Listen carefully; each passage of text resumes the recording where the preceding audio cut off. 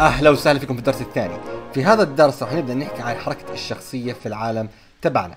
لكن بدنا نحكي شوي كمان عن ال inputs الموجودة. فأنا ما راح أستخدم ال inputs لكن إذا اجيت edit بعدين ضغطت على project settings ونزلت هون وضغطت على input لاحظ أنا عندي هون الحركة. أنت ممكن تكون مسكر عندك ال axis mapping فعندك مثلا forward backward تفتحها بتسكرها. في عندك W وال S لأمام والخلف. عندك ال A وال D right و left هذول ممكن أنت تحذف اللي بدكش اياه من هذول الأشياء اللي هون. أنا راح أترك كل شيء زي ما هو. ما في داعي أعدل عليهم.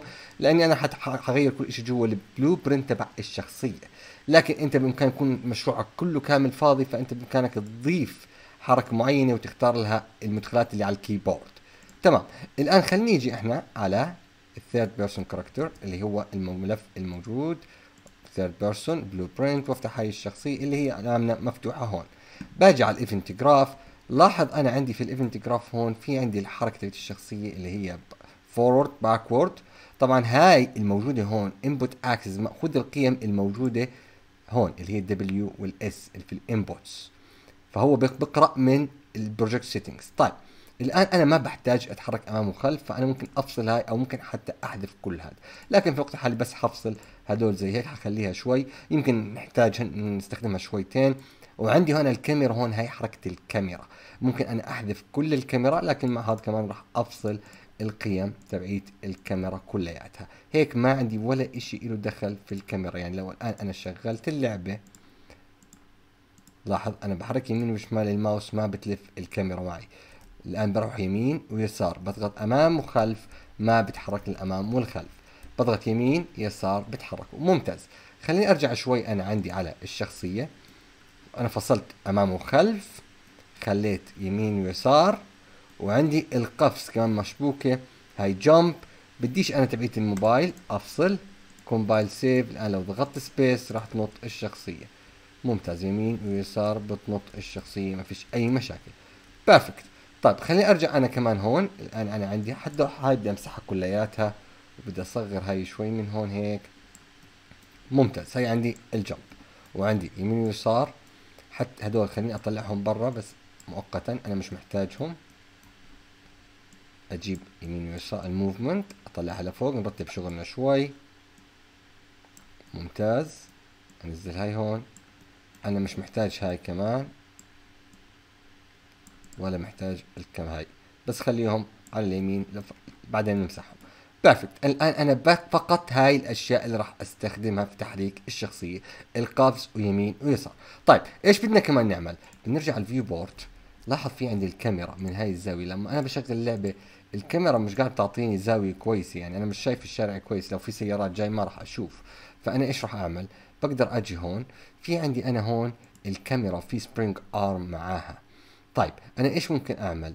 في عندي كتير أشياء. أنا عندي مثلا Target Offset بقدر أغير عندي هون مثلا قلنا 200 بدي أرفع الكاميرا لفوق. لاحظ كيف صارت الآن لو شغلنا Compile وشغلت اللعبه الكاميرا بتطلع من فوق. طيب إيش كمان بدنا نعمل؟ بدنا نسوي الزاوية. شوي الكاميرا تنزل لتحت. خليني أطفي أنا هاي مديش إياها. بمسك الكاميرا بضغط على الكاميرا. باجي على الدوران. بقدر أضغط على الأخضر هذا اطلع الكاميرا مثلا 20% أو 30% خلينا نجرب 20% نشوف كيف شكلها نشوف ممتاز جدا جدا جدا. طيب الآن أنا هيك صار عندي زاوية الكاميرا. طب في كمان شغلات ثانية بدنا نعرفها. Unreal Engine عمل لنا شغله كثير رائعه في عندك في جوا ملف الشخصية شيء اسمه Character Movement ال Character Movement هذا تم تجهيزه على برنامج Unreal Engine بعطيك على اليمين هون تفاصيل الحركة والجاذبية. مثلا عندك Gravity Scale الجاذبية الأرضية. وعندك ال Acceleration تسارع الشخصيه فهي المعلومات كثير رائعة بتقدر تستفيد منها. بس أنا بدي آجي هون أدور على الشغله إلها دخل في ال rotation ننزل ندور movement هاي Character Movement Rotation Settings أنا بدي أختار Orient Rotation to Movement هاي بدنا نطفيها ليش؟ لاحظ الآن أنا طفيت ال Orient ممكن تكتب أنت هون. Orient Rotation وتطفيها من هون. بضغط Compile Save لاحظ الآن كيف الشخصية بتركض. الشخصية بتروح يمين ويسار لكن ما بدير وجهه على اليمين وعلى اليسار. بضل وجهه للأمام وبتحرك يمين وشمال. هاي إحنا لما نلعب اللعبه بتكون بهذا الشكل طبعا. ممتاز جدا. هيك إحنا جهزنا ال orientation تبع الشخصية فهذا كثير رائع جدا في اللعبة تبعيتنا في Unreal Engine فممكن أنت تنزل وتدور عليها. طيب كمان بدنا نسوي شوية شغلات ثانية. الآن إحنا حذفنا يمين ويسار بدنا الشخصية تصير تركض. طب أنا ما راح أضغط W بدي إياها تركض لحالها أول ما تبدأ اللعبة. بفوت على ال Event Graph إيش اللي بيخلي الشخصية تتحرك على طول طول الوقت؟ نقدر نختار Event Tick إذا أنت عرفت Event Tick بكون إشي رائع. انت اخذت معنا الدروس قبل هيك. Perfect هاي ال Event Tick طيب نسحب من ال Event Tick بدنا نقول له add movement input. Add movement input. Perfect. الآن بدنا كل ثانية كل frame كل ثانية في عندنا تقريبا 60 frame كل frame بدنا إياك تحرك الشخصية. طب وين اتجاه الشخصية اللي بدك تحرك لنا إياها؟ ممكن أنا أكتب هنا actor uh, forward forward vector ممتاز. أنا بدي هاي.